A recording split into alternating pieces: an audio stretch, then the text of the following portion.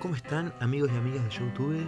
Soy Nico Sucio de Aderseed y bienvenidos a una nueva recogidita, este segmentito que les ofrecemos cuando pegamos algún lotecito de cosas o qué sé yo, algunas boludeces que vale la pena simplemente mostrarlas.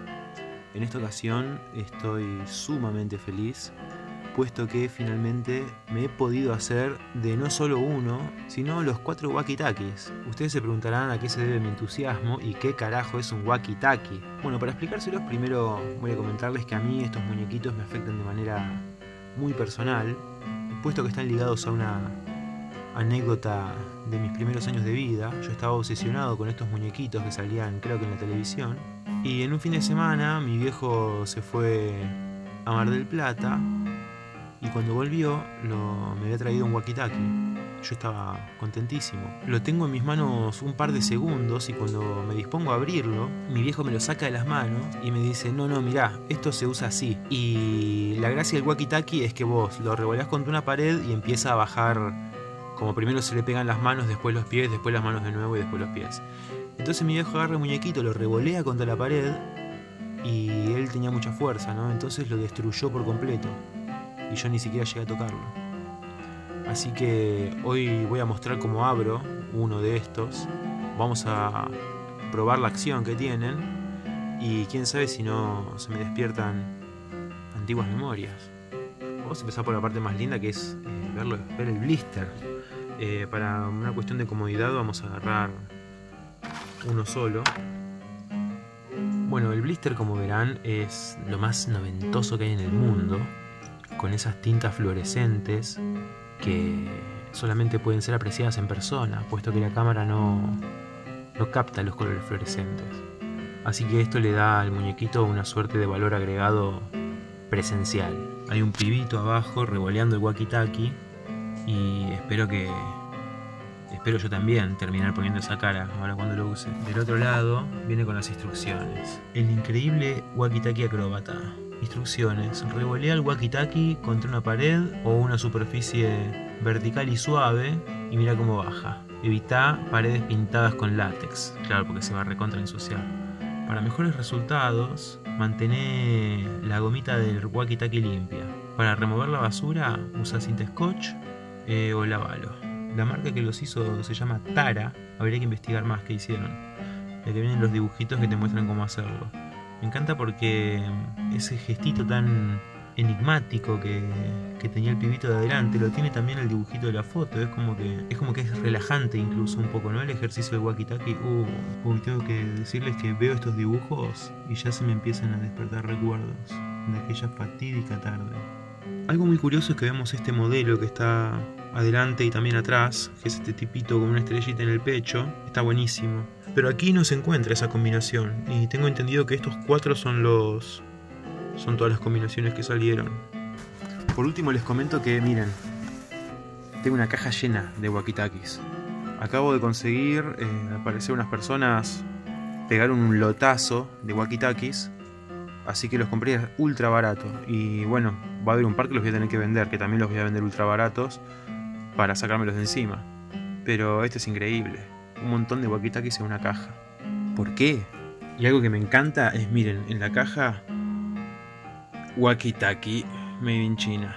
Así que bueno, dejémonos de tonterías y vamos a hacer ese unboxing, armándonos de nuestras uñas que nos hemos dejado crecer un tiempo suficiente. Vamos a ir despegando el, acetato, destruyendo así la imagen de fondo pero es un precio que deberemos pagar si queremos vivir la experiencia Wakitaki. Eh, tengo que decir que noto que, que, el plastiquito está muy pegado al cartón. Es imposible sacarlo intacto. El muñequito está en una pose muy dinámica, como flotando adentro del blister, porque tiene además una contraforma atrás que lo deja así, quieto y estable. Es hermoso. Miren, me quedó horrible el cartón. Y acá tenemos... ¡Uh! está re pegajoso. Acá tenemos el dichoso wakitaki. El muñequito es muy simpático. El material se siente muy bien al tacto. Es firme y claro, es de plástico hueco. Comprendo que mi viejo lo haya destruido cuando lo tiró contra la pared. Hay que tirarlo más como el guachín. Miren esa tiradita, es como así. Como a lo Gardel. Y bueno, voy a probarlo.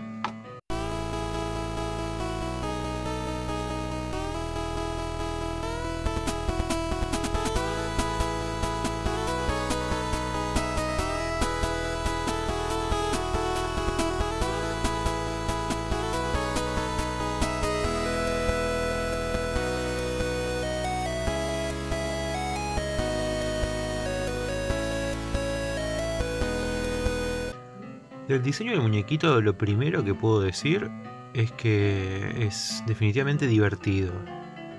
Tiene una posturita muy chistosa. Miren la carita, además. Sobre todo la pose. Está como con la cabeza medio doblada para un costadito. Esto es esencial para el efecto que hace cuando, cuando cae. Son todos el mismo molde, pero con variaciones de color distintas. Y los colores están muy bien elegidos. Además de los diseños que les hacen, ¿no? Este, por ejemplo, tiene como esa rayita en el medio y ese lechazo en la pierna y los colores que obedecen a todas las reglas de las armonías de color. Quería abrir los demás para, para mostrarles los colores, pero después me di cuenta de que va a ser un quilombo tenerlos guardados. Así que voy a abrir solamente uno y a medida que lo use y se vaya gastando la gomita, voy a ir abriendo los demás. Acá tenemos otro que tiene negro, blanco y naranja, también unos contrastes muy bien elegidos. Eso es algo típico de los juguetes de los 90, ¿no? Que tenían mucho estudio del color para que vos te veas atraído por ellos. Miren esos ojitos que son como triangulitos, le dan una mirada un tanto triste. El siguiente también está impecable, la selección de colores. Vemos que tiene un motivo sierrita en la cintura y el cuarto diseño tal vez sea de mis favoritos, puesto que siento que rompe con todos los demás al tener la mayoría de, de su aspecto en blanco, con esa mezcla con un naranjita bastante débil y el azul queda muy bien. Y después con ese rojo para la capita explota.